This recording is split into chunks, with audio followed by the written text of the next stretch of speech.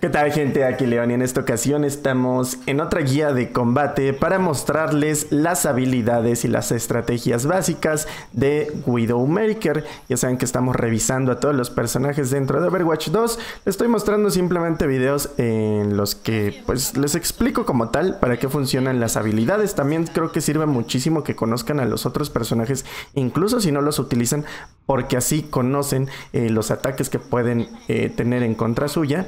Y eh, pues nada, la verdad es que Widowmaker es de esos personajes que son bastante axiomáticos en sus habilidades. Tenemos un sniper. Eh, hacemos, si apuntamos, entramos al modo sniper. Si no apuntamos, tenemos ahí un rifle. No hace tantísimo daño en modo rifle, pero eh, como pueden ver, su funcionalidad es hacer daños correctos a los enemigos.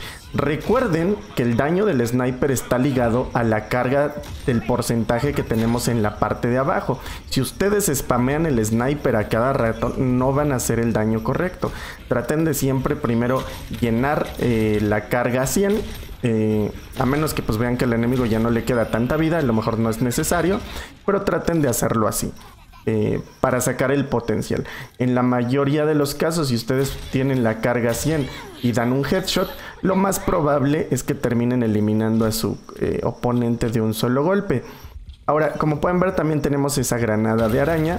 Eh, y también tenemos, ahorita que bueno que explique eso, tenemos este rifle. Ese rifle utilícenlo para cuando, pues bueno, haya oponentes a corta distancia, pues tenemos esa segunda opción. El rifle sale cuando no apuntamos. Esa arañita eh, pues simplemente es una mina de daño, no, no hay eh, mucho que explicar al respecto. Eh, tiene un lanzamiento en arco y se queda pegada en las superficies. Y la otra habilidad, como pudieron darse cuenta, es la de el gancho.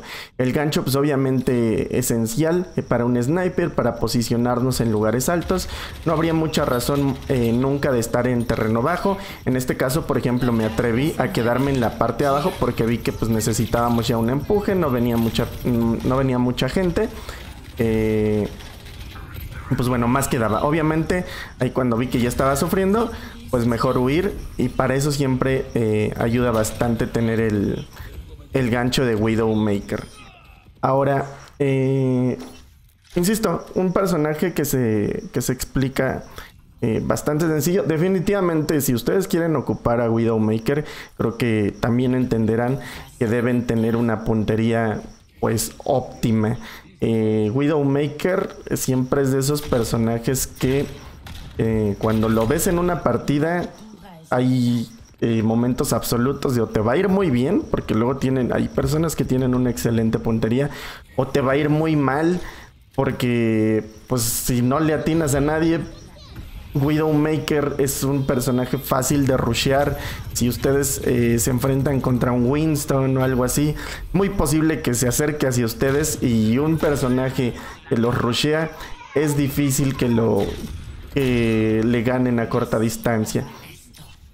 Pero, pues bueno, si aprovechan su potencial, eh, la verdad es que hace muy, muy buenos daños para tumbar a tanques rapidísimo. Como pueden ver, eh, la distancia de esa mina no es tanta. Y para finalizar, pues bueno, su ulti, ¿qué hace su ulti? Su ulti revela a todos los enemigos. Te da un, un wallhack, eh, por así decirlo. Puedes ver a todos los enemigos, puedes ver sus sombras, incluso atrás de las paredes.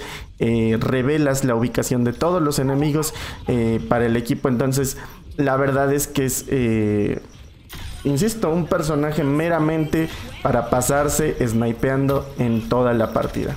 Pues, realmente es eh, con eso terminamos esta guía de combate. Insisto, estas eh, simplemente son para mostrarles las habilidades básicas. Ya ustedes irán experimentando con los personajes cuando conozcan los mapas eh, y demás.